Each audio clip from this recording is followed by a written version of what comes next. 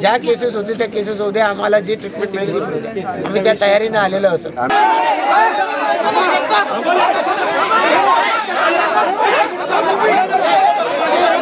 कर्जत तालुक्यातून गेलेल्या Reliance gas पाईपलाईनमध्ये प्रकल्पबाधित झालेल्या दहा गावातील एकोणपन्नास शेतकऱ्यांना अजूनही जमिनीचा मोबदला मिळाला नाही.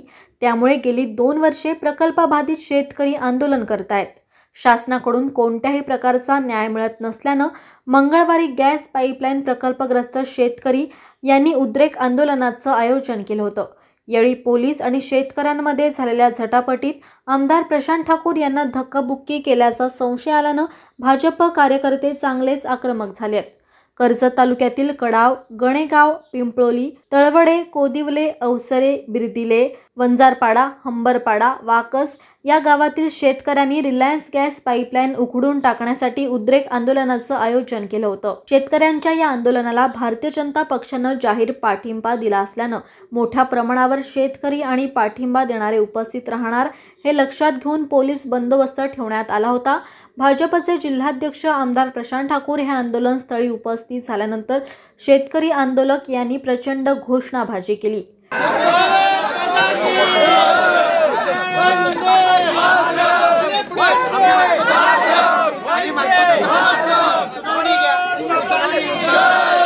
शेतकऱ्यांनी आपल्या भावना व्यक्त केल्यानंतर आमदार प्रशांत ठाकूर यांनी आपण या ठिकाणी इशारे देण्यासाठी आलो नाहीत तर पाईपलाईन उखडून टाकण्यासाठी आलो आहेत असं जाहीर करून आमदार प्रशांत ठाकूर यांनी शेतकऱ्यांच्या शेतात जाण्यासाठी मार्गक्रमण करण्यास सुरुवात केली आहे मात्र उपस्थित असलेले कर्जतचे तहसीलदार विक्रम देशमुख आणि पोलीस उपअधीक्षक अनिल घेर्डीकर यांनी गॅस पाईपलाईन संबंधित अधिकारी नेरळ पोलीस ठाणे येथे उपस्थित असून त्या ठिकाणी आपण जाऊ आणि चर्चेतून मार्ग काढू अशी विनंती केली.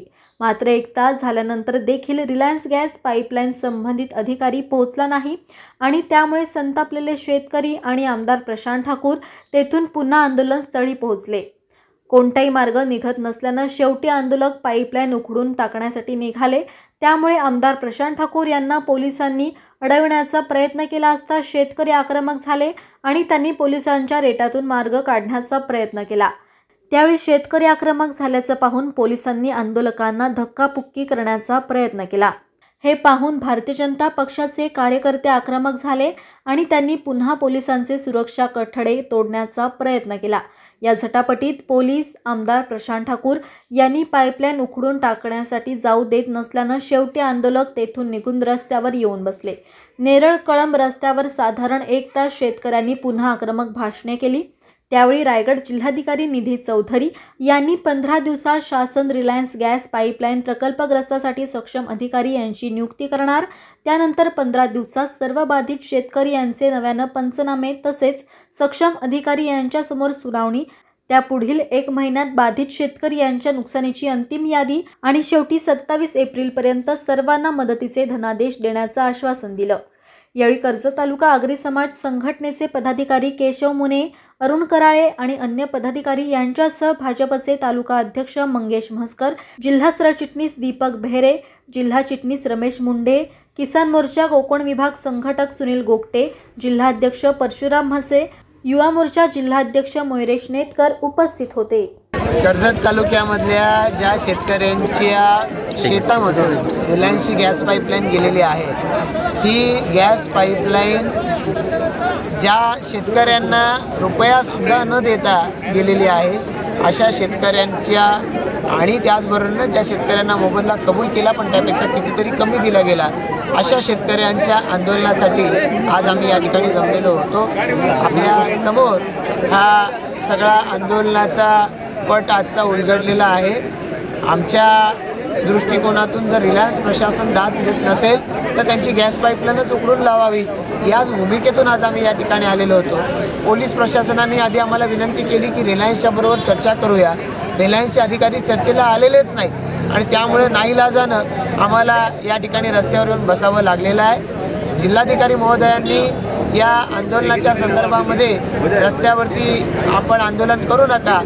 ज्या रिलायन्सच्या वेगवेगळ्या पद्धतीची जी तकलादू अशा पद्धतीची मी म्हणेन कारणं आहेत. या कारणांना शासनाच्याकडून जो प्रतिसाद द्यायला पाहिजे तो दिला गेलेला नव्हता. त्यांचं म्हणणं आहे की करोना असेल किंवा या कारणामुळे ती फाईल मंजूर झालेली नाही. सक्षम प्राधिकरण त्याच्यामध्ये रायगड जिल्ह्यातला अधिकारी रायगड जिल्ह्यासाठी वेगळा अधिकारी देणार असं कलेक्टरनी आज जाहीर केलं आहे मला माझ्याकडे ते तसं त्यांनी कबूल केलेलं आहे. मला अपेक्षा आहे की तो लवकरात लवकर नेमला जाईल. त्यांनी सांगितलं की येत्या पंधरा ते वीस दिवसात पण शक्यतो महिनाभरामध्ये हा सक्षम प्राधिकारी नेमला जाईल आणि त्याच्या पुढच्या महिनाभरामध्ये त्याच्या सुनावण्या आणि तिसऱ्या महिना संपेपर्यंत तिसरा महिना संपेपर्यंत ज्यांना ज्यांना याच्यामध्ये डिस्प्यूटमुळे पेमेंट मिळालेलं नाही त्या सगळ्या लोकांचं पेमेंट केलं जाईल असं कलेक्टर महोदयांनी मला या ठिकाणी कबूल केलेलं आहे.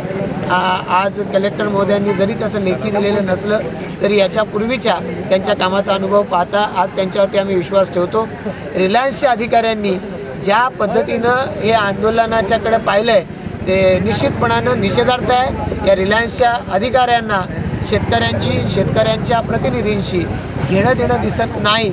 आणि त्यामुळे निश्चित पद्धतीनं रिलायन्सचे प्रकल्प ज्या वेळेला जिल्हाभरामध्ये येतील त्या जिल्हाभरामध्ये येणाऱ्या प्रकल्पांच्या बाबतीमध्ये आम्ही आता आमचं दुधानं तोंड पोळलेलं आहे. आम्ही आता ताकसुद्धा फुंकून फुंकून पिणार. आणि जिथं जिथं रिलायन्सचा प्रकल्प येईल तिथं लेखी दिल्याशिवाय रिलायन्सचा कुठलाही प्रकल्प